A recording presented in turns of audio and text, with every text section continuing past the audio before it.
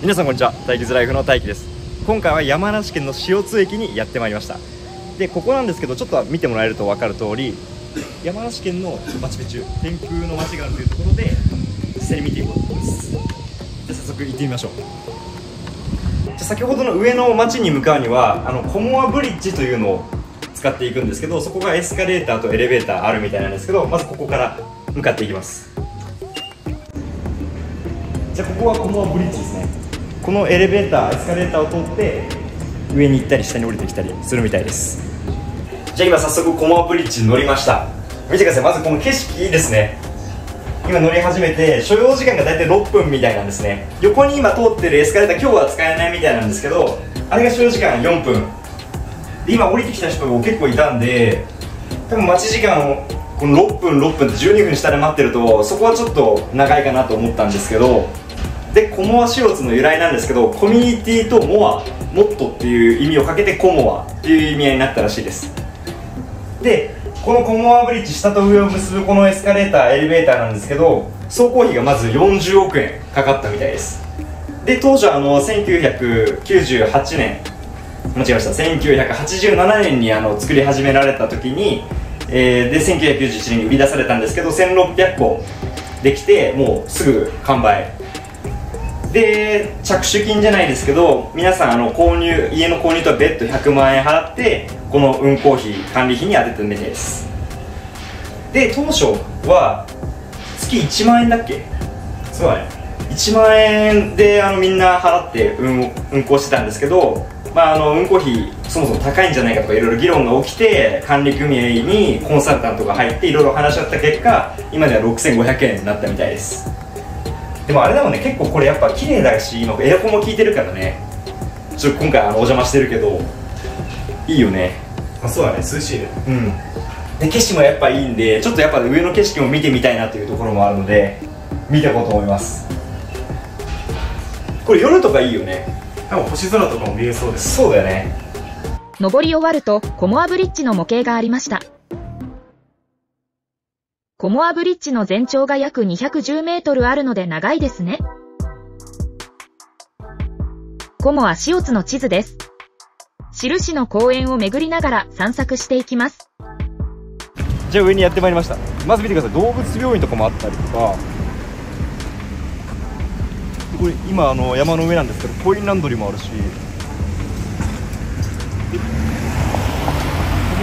多分ショッピングができる場所ですよね。スーパーみたいなのもありますし接骨院もあって地下もあって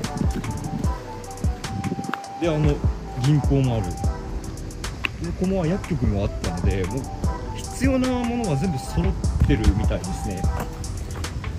で来る途中に思ったのが結構あのすれ違った人も若い子供お子さんとかもいるしいろんな世代の方がいらっしゃるんでニュータウンって今全国に2000ぐらいあるみたいなんですけどその中でもかなり人がいて栄えてるいい街だなというふうに思います。じゃあまず街の中の公園に来たんですけど一つのこのオブジェなんかなんかおしゃれですね。何してんだろうねこれ。ね風で動いてそうだけど。あ風風そんな強くないけどね。でちょっと今街にも歩いてきたんですけど全部基本住宅街でですけどすごいおしゃれでいいよね。住みたくなる街だったね。えここ散歩コースがあるみたいですよあっちとか散歩コースがあるんで。いいですね。あの歩いていこうかなと思います。じゃあ行きますか。風の公園から時計の公園に向かいます。でまずこの散歩道歩いていこうと思います。いやいいな。歩きやすいね。ねでなんかあの木陰とか木もちゃんとあって。このしかなんか気温が涼しいよね。でここの土地なんですけど当初バブル時代まだバブルが弾ける前に建てられた時は5000万円一区画5000万円ぐらいで高級住宅街として流行ってたみたいなんですけど1991年過ぎバブル崩壊した時にここの価値もやっぱ落ちたみたいでニュータウンとして、えーどう今後運営していくのかっていうところもあって衰退するかしないかの瀬戸際だったと思うんですね、まあ、ただ今では価格も2500万円で当時の半分ぐらいの価格になったりとかこのやっぱおしゃれな街並みとかっていうのもあって先ほど申し上げた通り若い世代の層の方も結構いらっしゃるのででかつあのやっぱりショッピングとか病院とかも必要なものが全部揃ってるので人がいるのかなという印象を受けますね。住みたいよねなんか。え？今テレワークとか流行ってるからそれメインの人だったらねここいいよね。そうだね東東京まで何時間だっけ？東京え新宿まで70分だったね。いいね。東京までで1時間ちょっとかな。さっき聞いた公園が何だろう。風の公園かな。で次行こうとしてるのが時計の公園最後石の公園っていうところまで行ってえー、そこからの景色を見て帰ろうと思います。じゃあ時計の公園来ましたね。真ん中に時計があってこれおしゃれだね。時計の下では金魚が泳いでいました。ボサみたいなのがいる結構やっぱ歩きやすいまっすぐだし自然が豊かで歩いてて気持ちいい。あれかななんか今向こうに見えるの？のかな。道路っぽいですね。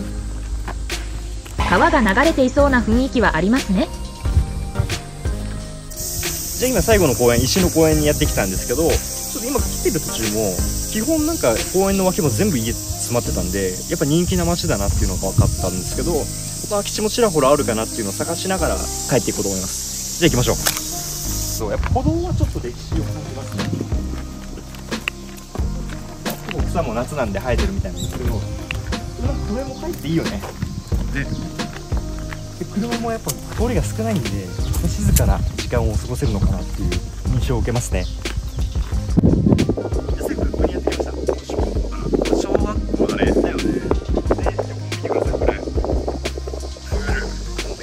入りたい。